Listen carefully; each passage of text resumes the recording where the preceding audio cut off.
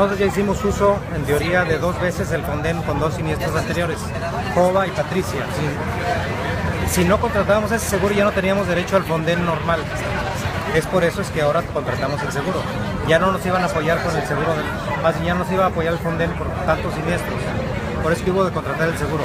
Pero no desaparece el Fonden ni es otro Fonden, es lo mismo. Ahora ya tenemos derecho también al Fonden con este seguro. Ahora, ¿este seguro qué protege? Todas las estructuras de gobierno del Estado.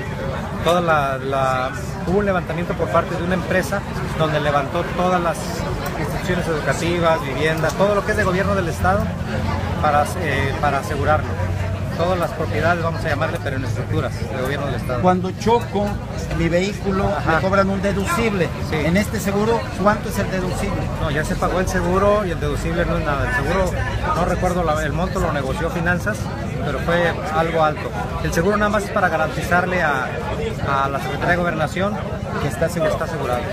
Pero no, nosotros no, ya no, ya no, ya no hay otra derogación.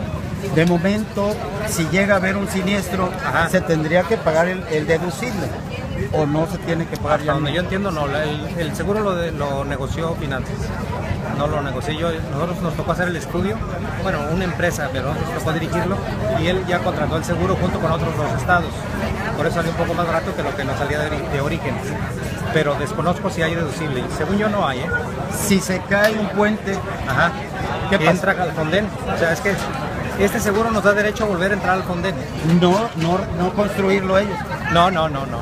Nos volvemos a entrar, tenemos derecho al Fonden otra vez.